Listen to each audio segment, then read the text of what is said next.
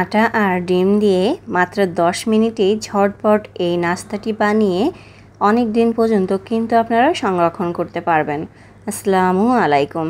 খুব সহজেই আটা আর ডিম দিয়ে আজ একটি মজার নাস্তা রেসিপি তৈরি করে দেখাবো। এটাকে পিঠাও বলতে পারেন, ডিম পিঠা। তো খুব সহজেই বানানো যায় আর খেতেও কিন্তু অনেক মজা। তো চলুন কীভাবে তৈরি করেছি সেই রেসিপিটি দেখে নিই। প্রথমে একটি বাটি নিয়ে নিয়েছি, এখানে নিয়ে নিচ্ছি একটি ডিম। এখন এখানে দিয়ে দিচ্ছি আমি ওয়ান থার্ড কাপ চিনি। চিনিটা আপনাদের স্বাদ অনুযায়ী কম বেশ করে দিয়ে নিতে পারবেন। দিয়ে দিচ্ছি স্বাদ মতো লবণ। তারপরে এখানে দিয়ে দিচ্ছি আমি এক টেবিল চামচ তেল। এখন সবগুলো উপকরণ খুব ভালো করে ফেটিয়ে নিতে হবে মানে চিনিটাকে গলিয়ে নিতে হবে। তো একটু এভাবে বেশ কিছুক্ষণ মেশানোর পরে দেখবেন চিনিটা খুব ভালো মতো গলে গিয়েছে। এখন এখানে আমি দিয়ে দিচ্ছি এক কাপ আটা। আপনারা চাইলে ময়দাও দিয়ে নিতে পারেন। তো প্রথমে এক কাপ আটা দিয়ে দিচ্ছি আর দিয়ে দিচ্ছি হাফ টেবিল চামচ কালো জিরা। এখন খুব ভালো করে মিশিয়ে নেব। এরপরে যদি আটা আরও কিছুটা লাগে, তাহলে আরোটা কিছুটা আটা এখানে দিয়ে দেব। তো খুব ভালো করে মিশিয়ে নিচ্ছি। আর এই ডোটা কিন্তু একেবারে শক্ত না, বা একেবারে নরমও না, এমন হবে। তো এটা কিন্তু অনেক আঠালো হয়েছে। এখানে আরও কিছুটা আটা আমি দিয়ে দিচ্ছি। আরও হাফ কাপের মতো আটা এখানে আমি দিয়ে দিচ্ছি। হাফ কাপের থেকে একটু কম লেগেছে, ডিমের সাইজ অনুযায়ী আপনাদের এখানে আটার পরিমাণটা কম বেশি লাগতে পারে। এখন খুব ভালো করে আমি এটাকে মিশিয়ে নিচ্ছি। তো এই যে খুব ভালো করে মথে নিয়েছি, এটা কিন্তু খুব ভালো করে একটু মথে নিতে হবে। এখন এটাকে রুটির মতো করে বেলে নেব। তো একটু আটা ছিটিয়ে নিচ্ছি, তাহলে আর লেগে যাবে না। তো এভাবে করে এটাকে বেলে নিচ্ছি। আর এটা একটু পুরু করেই বেলে নিতে হবে, পাতলা করে বেলে নিলে হবে না।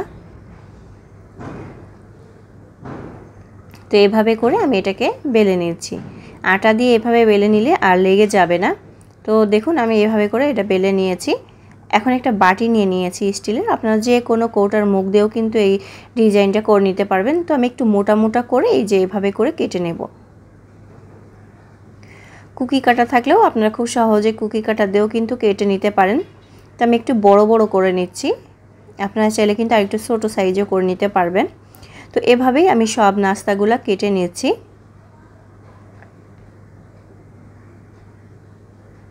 তো এই যে সব নাস্তাগুলো আমি কেটে নিয়েছি, আর আগে থেকে চুলার পরে একটি ফ্রাই প্যান দিয়ে তেল গরম করে নিয়েছি।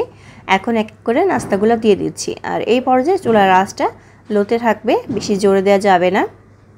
তাহলে কিন্তু উপর থেকে কালার চলে আসবে আর ভিতরটা কাঁচা থেকে যাবে। তাই প্রথমে লো আছে, এটাকে একটু ভেজে নিতে হবে। তারপর যখন মোটামুটি কালার চলে আসবে, তখন এটাকে একটু জোরে জাল দিয়ে তারপর ভেজে নিতে হবে। তো একবার যখন হয়ে যাবে, তখন এটাকে উল্টে পাল্টে খুব ভালো করে ভেজে নিতে হবে। তো আমি একবারে সবগুলো দিয়ে দিয়েছি, আপনারা চাইলে অল্প অল্প করে দিয়ে তারপর ভেজে নিতে পারেন। তো এই যে আমার এগুলো ভাজা হয়ে গিয়েছে দেখতে পাচ্ছেন খুব সুন্দর একটা কালার চলে এসেছে। তো এখন এগুলো আমি উঠিয়ে নেব। এগুলো একটা এয়ারটাইট বক্সে রেখে আপনারা এক মাস পর্যন্ত সংরক্ষণ করতে পারবেন। এটা খেতে কিন্তু অসম্ভব মজা লাগে।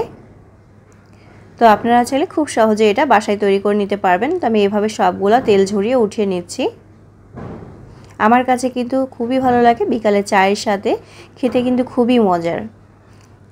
তো অবশ্যই আপনার বাসায় একবার হলেও বানিয়ে খেয়ে দেখবেন। আশা করি অনেক অনেক ভালো লাগবে।